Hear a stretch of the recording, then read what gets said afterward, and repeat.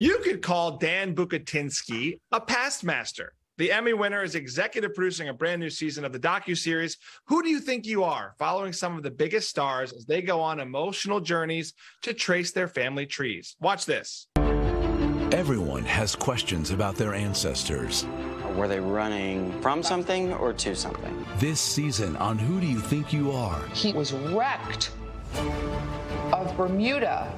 Are you kidding me? 33. Jesus, he died when he was 33? I feel like a much more complete version of myself. These are the shoulders that I stand on. And we have Dan with us now. Hi, Dan. Hey. So thanks for having me. Yes, I love what you're doing with this show. It's been 10 years since the show first premiered, right? What first hooked you on this concept?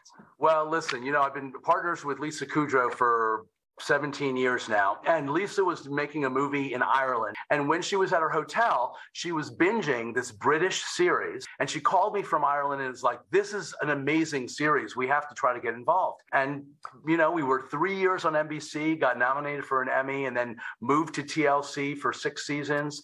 And now, in what I think is unprecedented, is we're returning to our home, the mothership at NBC. And um, I think this is a show that can go on forever, and I hope it does. Walk us through some of the stars we'll be learning about because I know Billy Porter has a really moving experience in the premiere, right? He does, yeah. Billy Porter, um, you know, it's it's quite amazing because a lot of times the oral history that gets passed down from generation to generation are just the stories that we hear from our parents or our grandparents or aunts and uncles. He had always heard about a grandfather who had been murdered but the truth of the details of that murder in his family and his great grandfather's life comes to play. And he has a real reaction to it because it's very relevant to what we're dealing with right now.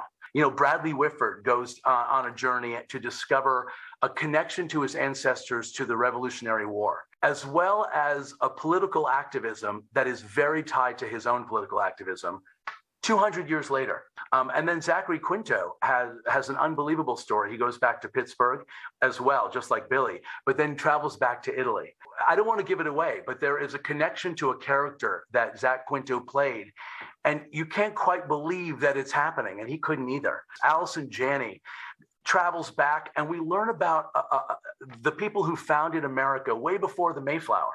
I mean, 10 generations back so that kind of stuff you couldn't possibly have imagined. Sometimes you spotlight, you know, things come to the spotlight that you necessarily didn't want.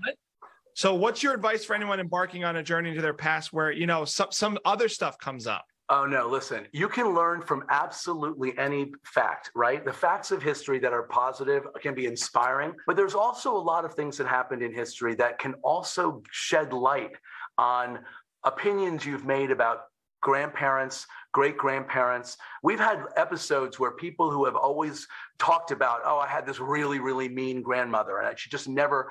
And then you find out what le- what was the trauma, the historical trauma that led to her being that way, and you suddenly have this compassion, not just for those who came before you, but for yourself. How about your family? You know, from doing this show, have you looked into yours a lot since, you, or, or how has it been for you?